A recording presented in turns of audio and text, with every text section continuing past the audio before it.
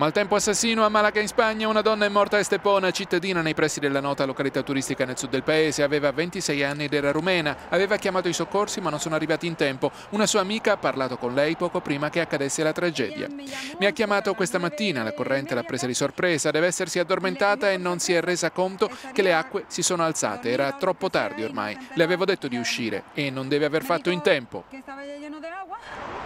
Le ho detto io che, che saliera e mi ha detto che già non poteva salire. Le tempeste continuano a Malaga. Questo fine settimana la città ha sofferto precipitazioni e venti fortissimi, oltre 200 i litri di acqua per metro quadrato. Il maltempo adesso si sta dirigendo verso la parte orientale di Andalusia e l'allarme meteorologico è passato da rosso a giallo.